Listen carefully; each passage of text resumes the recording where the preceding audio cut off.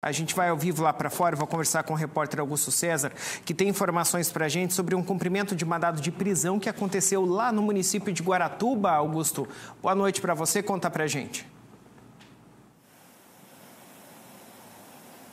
Exatamente, Rafa. Muito boa noite para você, a todos que nos acompanham aqui no Litoral Urgente. Este mandado de prisão estava expedido aí por uma questão de roubo, né, onde este indivíduo de 29 anos estava foragido desde o dia 30 de março deste ano. Ele teria participado de, uma, de um roubo ali a uma residência na cidade mesmo de Guaratuba, onde na ocasião foram levados aparelhos celulares, também notebooks, capacete, enfim, vários produtos foram levados desta residência e desde então um trabalho bastante é, complexo aí das equipes da polícia Civil passaram ali já a investigar e conseguiram chegar no paradeiro deste rapaz de 29 anos. Diante então da situação, a equipe da Polícia Civil pediu pela prisão preventiva do rapaz e realizaram então o cumprimento deste mandado de prisão, onde o rapaz foi conduzido para a delegacia da Polícia Civil